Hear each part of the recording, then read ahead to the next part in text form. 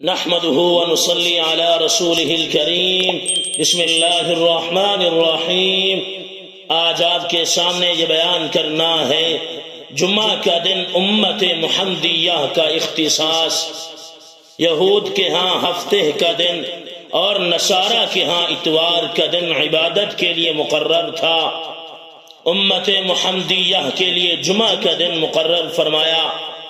اس لیے کہ حدیث مبارکہ میں آتا ہے جو شخص جمعہ کے دن مرتا ہے، اللہ رب العزت اس کے لیے شہید کا اجر لکھتے ہیں اور اس کو قبر کے فتنے سے محفوظ رکھتے ہیں۔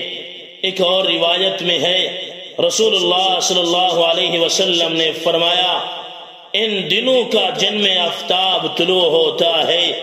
سب سے بہتر دن جسے اگر کوئی بندہ مومن پالے تو وہ جمعہ ہے۔ اسی دن حضرت آدم علیہ السلاۃ والسلام پیدا کیے گئے۔ ایک اور روایت میں ہے۔ حضرت ابو حرر رضی اللہ تعالی عنہ روایت کرتے ہیں۔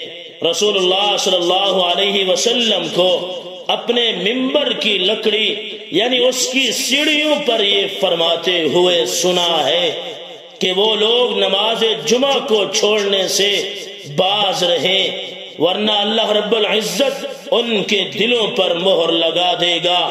وہ غافلوں میں شمار ہوں گے۔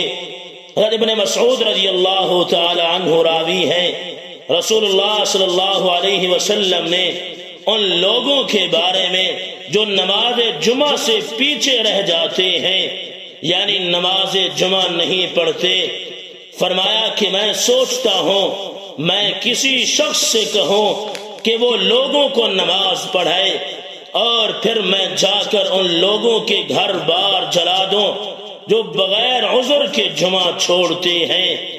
اللہ رب العزت سے دعا ہے۔ اللہ رب العزت تمام مسلمانوں کو جمعہ پڑھنے کی توفیق نصیب فرمائے۔ آمین۔